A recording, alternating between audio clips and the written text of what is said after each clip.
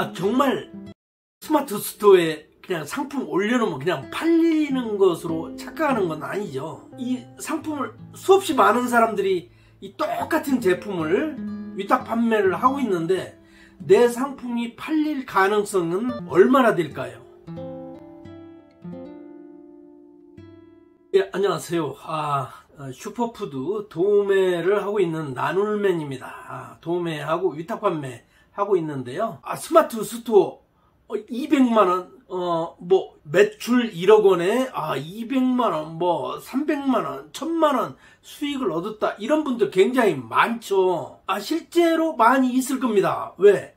그만큼 스마트 스토어 시장이 엄청나게 커졌죠. 아, 우리 딸도 쿠팡에서 물건 엄청나게 구입하는데, 스마트 스토어에서도 엄청나게 구입한다 이겁니다.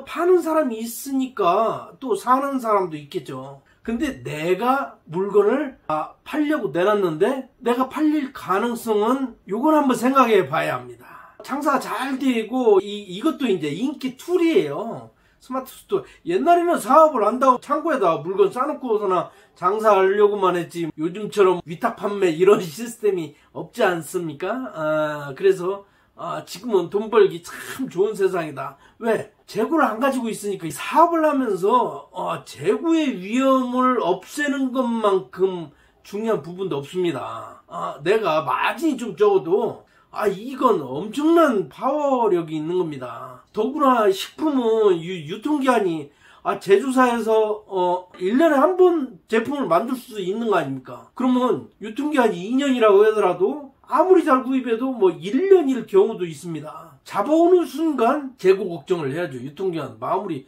어, 유통기한 끝나면 그냥 끝나는 겁니다. 아, 이건 영원이에요. 영원. 반품도 안 되는 부분이죠. 근데 이 부분을 재고를 안 가지고 있다. 이건 자본금만의 문제는 아닙니다. 자본 부분을 벗어나서 재고의 위험은 어떻게 도둑 맞을 수도 있는 거 아닙니까? 그러니까 재고의 부담이 없는 이 시스템에서 내가 살아갈 수 있는 부분. 근데 이제 어, 유튜브에서 어, 아니면 네이버 블로그 뭐 이런 데에서 수없이 많은 사람들이 이걸 가르쳐 준다 이겁니다. 자본 하나도 없이 어, 성장하는 방법, 뭐 판매하는 방법, 뭐 나는 이만큼 벌었어요. 여러분도 이만큼 벌.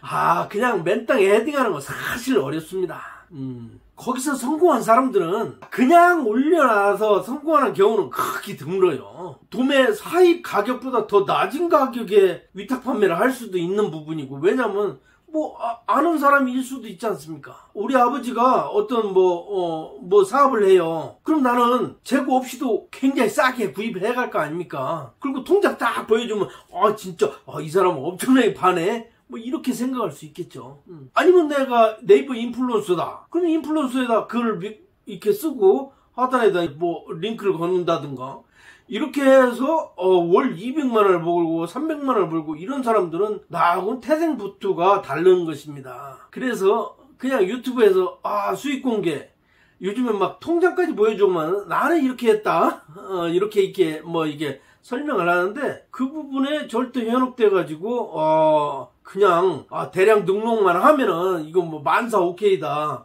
그래가지고 월 비용 다 주고 어? 광고 뭐 이렇게 좀 하고 이렇게 한다 해가지고 이게 막 무조건 성공하는 시스템은 아닙니다. 나도 팔고 남이 파는 부분은 누구나 할 수 있는 거죠. 나도 팔고 남도 팔면 네이버에서 한꺼번에 묶어버리지 않습니까? 묶어버리면은 가격 싸는 사람이 장땡이죠. 내가 아무리 거기서 상세 페이지 이쁘게 뭐 한다고 하더라도 그 부분에서 한계가 있지 않습니까? 그래서 그렇다면 뭐 이거 안, 안 되느냐? 아니죠. 요건 시장은 지금 뭐 아주 가히 폭발적이죠.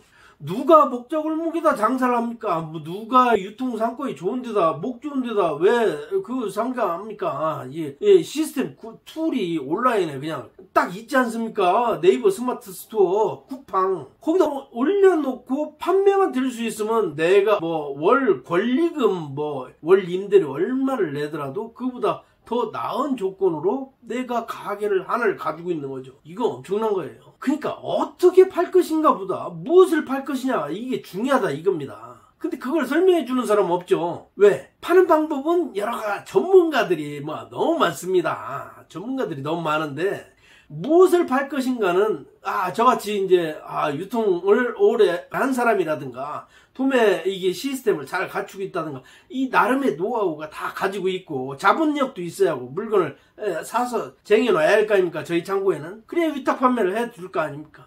여러분이 판매를 했는데 아 제 물건이 떨어졌어요. 품질 자꾸 띄워주면 이거 일할 만 나겠습니까? 몇 개 팔고 끝나는 거죠 시스템을 만들기 위해서는 많은 자본금도 갖추고 아, 도매의 흐름도 알고 그런 다음에 적재적소에 시스템을 투여해 줄 수 있는 곳.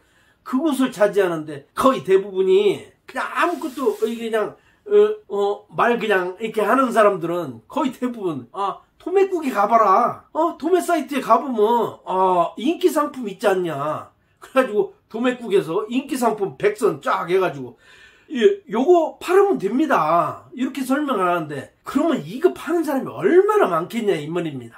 그 경쟁력이죠. 만 원짜리 갖다가 그, 그 사람들이 얼마를 경쟁하면서 피치지게 이게 싸우겠냐 이 말입니다. 안 되는 거예요. 하, 그래요. 그 한 단계만 더 나간다면은 인기 상품 백선은 어떤 자기적인 부분으로 해서 나가, 나갔더라도 어, 차라리 도매국에서는 여러 가지 좀 깊숙이 이제 좀 내가 관심 있다든가 아니면 식품 쪽만 이렇게 파본다든가 이렇게 해서 들어가 보면은 응? 판매가 등급이 1등 1단계에서 어, 10등급까지 이렇게 나눠져 있습니다. 적어도 1, 2, 3등급은 아 발송도 잘 되고 당일 발송도 되고 잘 되는 곳입니다. 저희가 2등급입니다.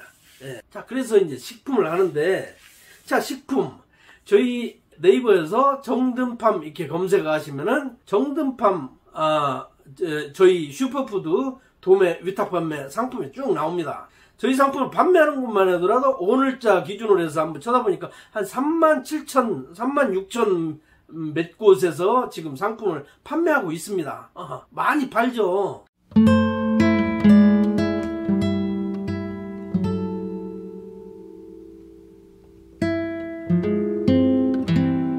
위탁 판매 도매 사입 자 슈퍼푸드 관심 있는 분은 네이버에서 정든팜 검색하시면 홈페이지 나옵니다.